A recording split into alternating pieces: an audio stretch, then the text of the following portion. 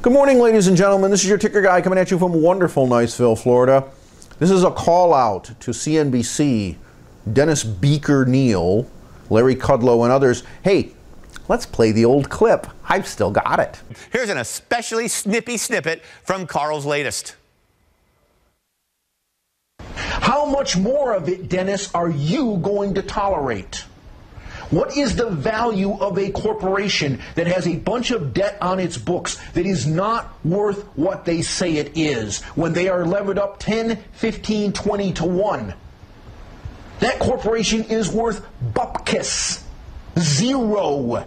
Wake up and smell the coffee, buddy. There's a reason people call you Beaker. Was it Barker? Ouch! Ouch! I'm glad I wasn't there when he taped it. He would have hit me. This guy is relentless and fiendishly thorough in his never ending quest to show us the U.S. economy will collapse. He tracks the weight of truck shipments. He clocks consumer debt versus income versus population growth over decades. He pores over reams of financial data on the banks, all of which he is sure are going to die. He is so angry, so offended. But here's the key thing so passionate. I got to admire passion even when it is headed utterly in the wrong direction. Karl Denninger is ER.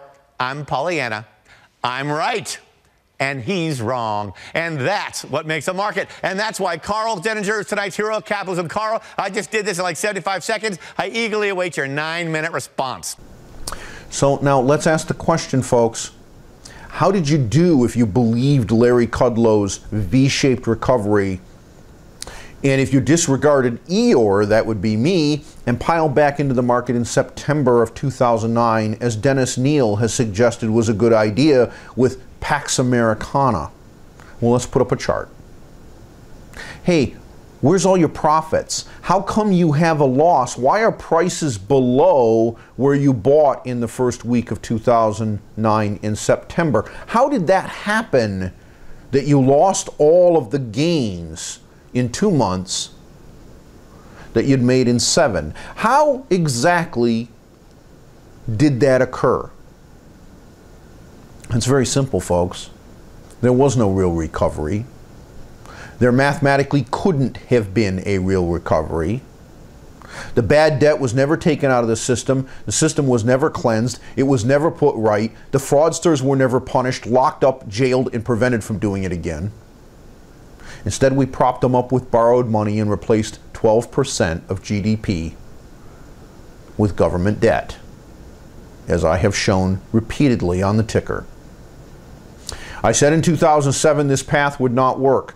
I said it again in 2008. I've said it consistently all the way from the beginning of my writings in the market ticker up until today.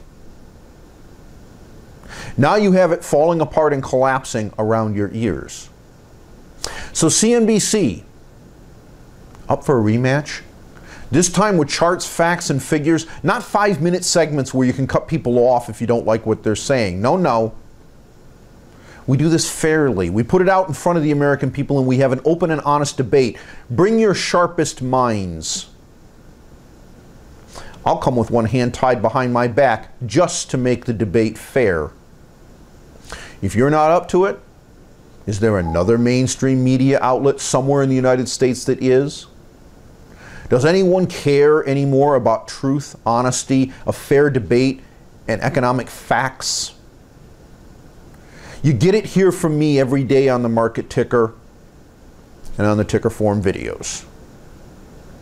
But can we get some of it in the mainstream press before Americans' 401ks, IRAs, SEPs, and Keoghs? Not people who day trade, and are able to be short term position traders like myself, but ordinary Americans that have jobs, that go to work every day, that are school teachers, factory workers, electricians, they run our power plants, our sewers, the things that we need every day before their savings and retirement get destroyed again.